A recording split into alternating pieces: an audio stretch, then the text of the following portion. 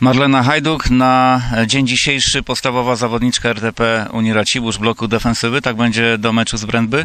No zobaczymy, mam taką nadzieję, że trener da mi szansę, że w meczach, które jeszcze zostały, pokaże się z jak najlepszej strony i będę podstawową zawodniczką.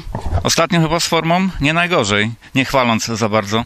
No nie najgorzej, ale oczywiście też nie najlepiej. To znaczy, nie, nie jestem w mojej takiej świetnej formie, tak jak już y, w tamtym sezonie było, ale myślę, że też nie jest źle.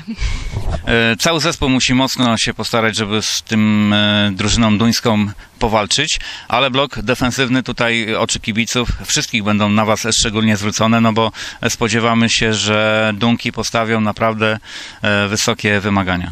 No na pewno to będzie bardzo trudne spotkanie i dla defensywy, jak i dla środka pomocy, ponieważ będziemy musiały bardzo dobrze wejść w mecz i radzić sobie z zawodniczkami zdanie, ale mam nadzieję, że gdy wszystkie się postaramy, to zagramy naprawdę bardzo dobre spotkanie i pokażemy na co nas naprawdę stać.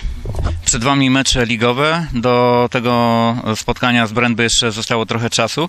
E, Na ogół są to e, rywale z tak zwanej niższej półki.